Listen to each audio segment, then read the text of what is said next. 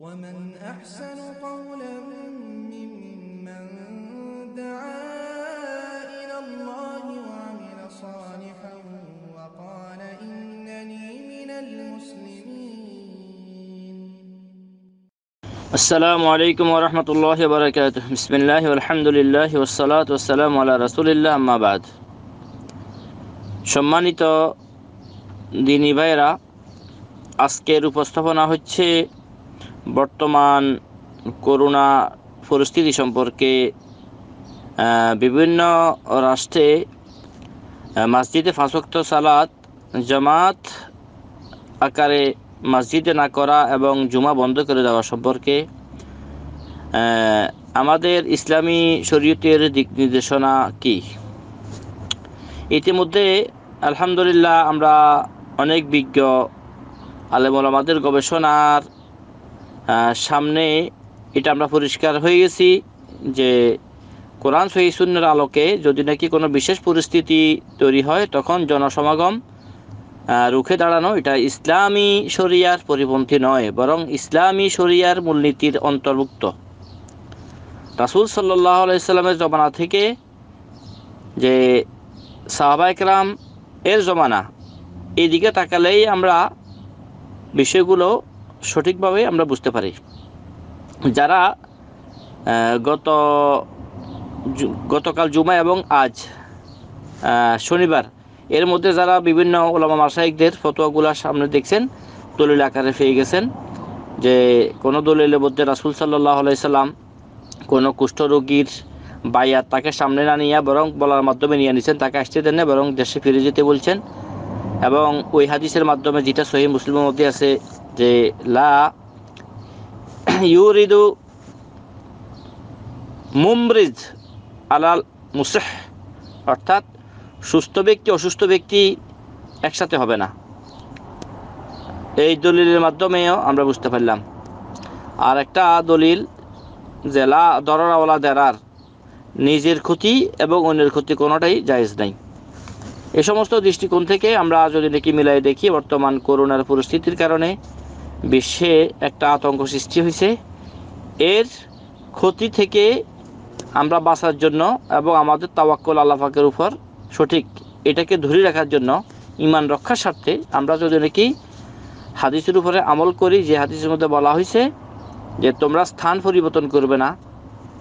যে এরিয়াতে রোগ দেখা দিছে, সেই এরিয়ার লোক সুস্থ এরিয়াতে আসবে না, অসুস্থ এরিয়া এরিয়ার লোক সুস্থ এরিয়াতে আসবে না, সুস্থ এরিয়ার লোক অসুস্থ এরিয়াতে যাবে না। তো কিন্তু রোগের স্বয়ং কোনো ক্ষমতা নাই যে পর্যন্ত না আল্লাহ তালার এখানে কি থাকে, হুকুম থাকে। আল্লাহর হুকুমের মাধ্যমেই এটা সংক্রামক হয়, রোগের কোনো আলাদা শক্তি নাই। কিন্তু যাওয়ার পরে যদি নাকি আমরা সুস্থ এরিয়াতে যদি নাকি কোনো অসুস্থ এরিয়ার লোক আসে আর অসুস্থ হয়ে যায়, তখন সে ওই লোক ব্যক্তিকে দোষারোপ করতে পারে। এই জন্য এই ব্যক্তির তো কোনো দোষ নাই। বরং এটা আল্লাহ তাবরকতালার নির্দেশে এই ব্যক্তির নিকটে সংক্রমণ হয়েছে কিন্তু সাধারণত মানুষের জ্ঞান এবং আকিদা বিশ্বাস পরিপূর্ণ না থাকার কারণে বাহ্যিক দৃষ্টির উপরে নজর রেখে মানুষদেরকে দোষারোপ করে। তো এটা তো তকদিরকে না মানার মতন হয়ে যাবে। এই জন্য শরীয়তে ইমান এবং আকিদা বিশ্বাস তাকদিরকে ঠিক রাখার জন্য এটাকে যত্ন করার জন্যে এই সমস্ত দিক নির্দেশনা দেওয়া আছে যে সুস্থ এরিয়ার লোক, অসুস্থ এরিয়াতে যাবে না, অসুস্থ এরিয়ার লোক সুস্থ এরিয়াতে আসবে না। আর যেহেতু আমরা ফতুয়া আকারে জানলাম, যদি নাকি জুমা এবং জমাত এগুলাকে বন্ধ রাখা হয়, তাহলে শরীয়তের কোনো এখানে লঙ্ঘন হচ্ছে না। কারণ জুমা, জমাত আমাদের উপর ফরজ কখন? যখন আমরা এগুলার শর্ত আমরা আদায় করতে পারি। জুমার জন্য একটা শর্ত আছে যে খাওফ খাওফ মানে ভয়। কারোর উপর যদি নাকি ভয় হয় যে সে গেলে এখানে ক্ষতির শিকার হবে, তখন তার উপর কি থাকে না? জুমার জমাতে উপস্থিত হওয়া আর ফরজ থাকে না। আর জমাতে উপস্থিত হওয়ার জন্য, জমাত ফরজ ঠিক, কিন্তু উপস্থিত হওয়ার জন্য কতগুলো শর্ত আছে? যদি নাকি শর্ত এমনটা হয় যে বাইরে কোনো শত্রু আছে তার, সে বাইরে তাকে হত্যা করবে বা তার ক্ষতি করার সম্ভাবনা থাকবে তখন তার উপর জমাত ফরজ থাকে না। তো এই সমস্ত উসুল ভিত্তিক নিয়ম যদি দিকে আমরা সামনে রেখে, বর্তমান পরিস্থিতিতে, যাতে করে এই ভাইরাস মানুষদের নিকটে সহজে সংক্রামক না হয়। এই জন্য এই নিয়ম করা হয়েছে যে জুমা এবং জমাত আপাতত স্থগিত করা হয়েছে। তো এটা শরীয়তের দৃষ্টিকোণ থেকে এটা কোনো নাজাইজ বা হারাম না। তবে আমরা যেহেতু আল্লাহ তালার আবাদতের প্রতি যথেষ্ট আগ্রহী। এই জন্য অনেকে বিভিন্ন ধরনের আমরা মন্তব্য করে থাকি। অনেকে এরকম মনে করে থাকেন যে যেখান থেকে ইসলাম গেল মক্কা, মদিনা হারামাইন এগুলাতেও বন্ধ করে দেওয়া হয়েছে আসলে এগুলা করছে ওনারা কোনো সাধারণ পরিস- পরিস্থিতিতে না, বরং ওনারা বাধ্য হয়ে করছেন। আমার জানা মতে এখানে স্বাস্থ্য বিশেষজ্ঞ এবং শরিয়ার মূলনীতি বিশেষজ্ঞ, বিশেষ করে সৌদির উচ্চ পরিষদ, ওলামা কমিটির উচ্চ পরিষদ যারা আছে, তাদের ফতুয়ার মাধ্যমে এগুলো করা হয়েছে। তো ওনারাও এই সমস্ত দলিল, দলিলের মাধ্যমেই ওনারা বলতেছেন যে বর্তমান পরিস্থিতিতে যদি নাকি জুমা এবং নামাজে ফাজক্ত জমাত মসজিদে আদায় না করে, এটা কি হবে না? শরীয়তের দৃষ্টিকোণ থেকে কোনো শরীয়তের বিধান লঙ্ঘন করা হবে না। বরং এটা একটা উপযুক্ত ফয়সালা, বর্তমান পরিস্থিতির দাবি। তাই ফতোয়ার আকারে যেহেতু এটা এসে গেছে, আমাদের এখানে হতাশ হওয়ার কিছু নেই, এখানে নার্ভাস হওয়ার কিছু নেই, এখানে ভিন্ন খারাপ মন্তব্য করার কিছু নেই। আমরা অবশ্যই সব ফাইতে থাকব যারা সাধারণ পরিস্থিতিতে জুমা এবং মসজিদে ফাঁসক্ত সালাত আদায় করি, এখন যেহেতু একটা ওজোর এসে গেছে, আমরা যদি আদায় না করি, তাহলে ওই হাদিসের ভিত্তিতে আমরা সব সময়ের মধ্যে জমাতের ফজিলত আমরা পেয়ে যাব। যে হাদিসের মধ্যে আছে, কোনো একটা মানুষ, সে সুস্থ ছিল, সে ফরজ, সুন্নত, নফল অনেক কাজে করতো। অসুস্থ হওয়ার পর সে শুধু ফরজটা আদায় করতে পারতেছে কোনো রকম, বাকি অন্যান্য নফল আরও অন্যান্য আবাদতগুলো করতে পারতেছে না। তো আল্লাহ তালা তাকে পরিপূর্ণ নফল যেগুলো সে সুস্থ থাকার কালীন আদায় করতো, এগুলো সব তাকে দিয়ে দিবেন, যা বন্ধ থাকবে না। তাই আমরা যারা ফাঁসক্ত সালাদ সুস্থ থাকা অবস্থাতে অর্থাৎ স্বাভাবিক পরিস্থিতিতে থাকা অবস্থাতে আমরা আদায় করতাম ফাঁসক্ত সালাদ মসজিদে গিয়ে গুরুত্ব সহকারে। তো এখন যে আমরা যাইতে পারতেছি আমাদের মন তো মসজিদের দিকে টানা আছে। তা আমরা দুইটা ফজিলতে আমরা ইনশাল্লাহ পাবো যে সারা সময়ে আমরা যে যাইতাম এখন একটা ওজনের কারণে যাইতে পারতেছি না, সেই সব আল্লাপাক আমাদেরকে দান করবেন। এবং ওই লোক আরসের নিচে ছায়া স্থান পাবে কেমতের দিন, যার কোনো ছায়া থাকবে না, একমাত্র আরসের ছায়া ছাড়া আর কোনো ছায়া থাকবে না। যাদের দিল মসজিদের সাথে টানা থাকে। এখন আমাদের দিল যদি নাকি মসজিদের দিকে টানা থাকে, আমরাও সেই সবের সেই ফজিলত অন্তর্ভুক্ত হব। তাই সম্মানিত দিনী ভাই, এত হতাশ না হয়ে আমরা ধৈর্যশীল হই। আল্লাহ তোমার কথার নিকটে এখন বেশি থেকে বেশি আমরা যেই আবাদত বন্দিকে, নফল আবাদতের মধ্যে, দোয়ার মধ্যে কাটাই তবে ইস্তেকবার মধ্যে কাটাই। বরং ওই সময়গুলো, যে সময়গুলো আমি মসজিদে আসতে যেতে আমার সময় যেত এই সময়গুলো আমি বেশি পাইতেছি এখন এই লম্বা সময়গুলো আমি আমার অবস্থানের মধ্যে কাটাইয়া আবাদতের মাত্রা বাড়াই দেই। তবে তবে ইস্তেকবার নফল আবাদত আমরা করতে থাকি।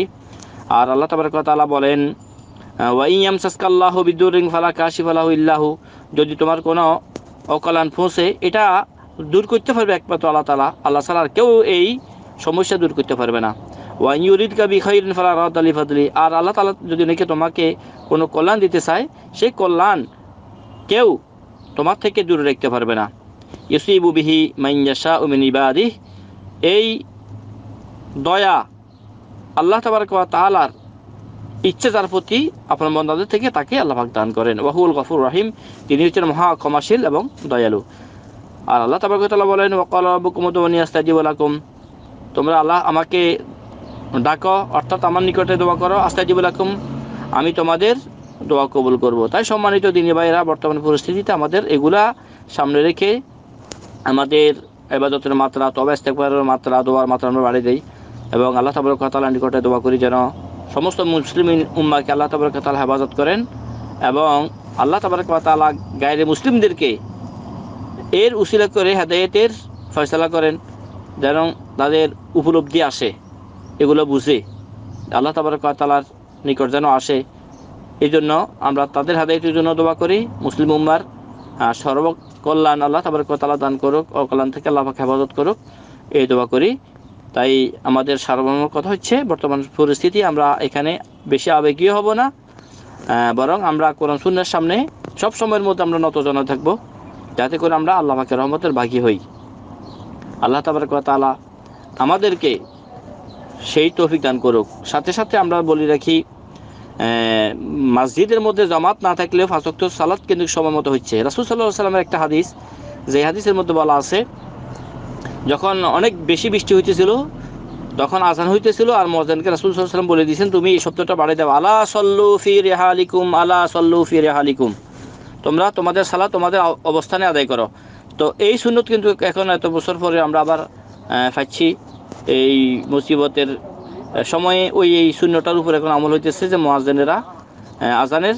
পাশাপাশি এই দোয়াটা এই এইটাও তোমরা বলে দেন আল্লাহ সল্লু ফি রেহালিকুম তোমরা তোমাদের অবস্থানে সালাত আদায় করো। তাই যেহেতু রাসুল সাল্লামের জমানাতে শুধু বৃষ্টির কারণেও জমাত এ, উনারা আসেন বা রাসুল সাল্লাহ সাল্লাম নিজেই বলে দিয়েছেন তোমাদের অবস্থানে সালাত আদায় করো। এখন যেহেতু একটা পরিস্থিতি এসে গেছে যেটা বৃষ্টির থেকেও বেশি ভয়াবহ তো এই পরিস্থিতিতে আমরা অবশ্যই রাসুল সাল্লাহ সাল্লামের ওই সুন্নতের উপর আমল করার একটা সুযোগ পাইছি। যারা আমরা শরীয়তকে যে কোরআন সুন্নার মানদণ্ডে মানতে রাজি, তাই মসজিদে গেলে যেমন সব রাসুলের নির্দেশ নামা রাসুলের নির্দেশ পালন করিয়া ঘরে ফড়াও সব আশা করি বিষয়টা বুঝতে পারছেন। বাকি আল্লাহ ভালো সব সালামালাইকুম রহমতুল্লাহ বারকাত